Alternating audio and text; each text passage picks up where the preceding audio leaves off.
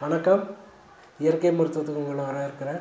இயற்கை மருத்துவத்தில் நம்ம இன்றைக்கி பார்க்க போகிறது என்னென்னு பார்த்தீங்கன்னாக்கா காது வலி. அதாவது காது வலி வந்துடுச்சுனாலே நிறைய பேர் ரொம்ப கஷ்டப்பட்டு இருப்பாங்க. நைட்டு இரவு நேரங்களில் தான் வந்து இந்த காது வலி வந்து நிறைய பேர் தூங்குற கஷ்டப்பட்டு இருப்பாங்க. அந்த மாதிரி இருக்கிறவங்களுக்கு இயற்கை மருத்துவத்தில் என்ன தீர்வு அப்படின்னு பார்க்கலாம். இது அதிகமாக யாருக்கு பாதிக்கப்படுதுன்னு பார்த்தீங்கன்னாக்கா ஆறு வயசு சிறியவர்கள்லேருந்து ஆறுலேருந்து ஒரு பன்னெண்டு பதிமூணு வயசுக்குள்ளே இருக்கிறவங்களுக்கு தான் இந்த காது வலி ரொம்ப அதிகமாக இருக்கும். இது வர்றதுக்கு காரணம் என்னன்னு பார்த்தீங்கன்னாக்கா குளிக்கும்போது காதில் தண்ணி போகிறது ரொம்ப குளிர்ந்த காற்று வேகமாக நம்ம காது மேலே படுறனாலையோ இல்லை ட்ராவல்ஸ் பண்ணும்போது அதாவது பஸ்ஸில் வந்து ட்ராவல் பண்ணுறீங்க இல்லை ட்ரெயினில் ட்ராவல் பண்ணுறீங்கனாக்கா அந்த அந்த வேகமான காற்று நம்ம காதில் வந்து வேகமாக வந்து படுறனால வந்து இந்த காது வலி வர்றதுக்கு காரணம் இருக்குதுங்க இதுக்கு தேவையானது என்னன்னு பார்த்தீங்கன்னாக்கா கடுகு எண்ணெய் கடுகு எண்ணெய் மஸ்டர்ட் ஆயில்னு சொல்லுவோம் இல்லையா? கடுகு எண்ணெய் கார்லிக் அதாவது வெள்ளைப்பூடு.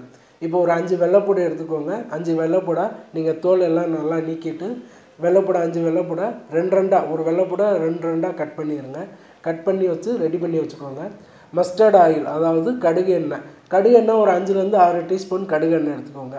ஒரு சின்ன பவுலில் ஒரு அஞ்சுலேருந்து ஆறு டீஸ்பூன் கடுகு எண்ணெய் எடுத்து ஊற்றிட்டு நம்ம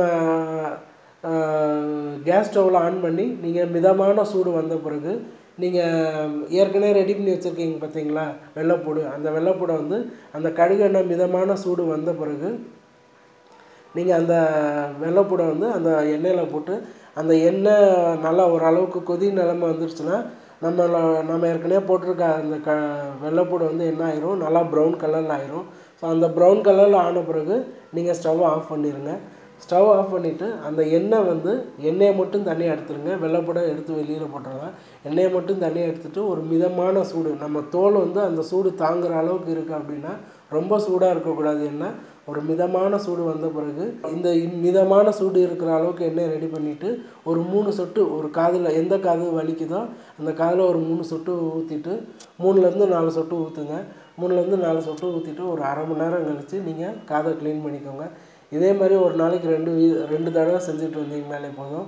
உங்களுடைய காது வலி முழு முழுமையாக குறைஞ்சிரும். அதை ட்ரை பண்ணி பாருங்கள் நல்ல ரிசல்ட் கிடைக்கும்.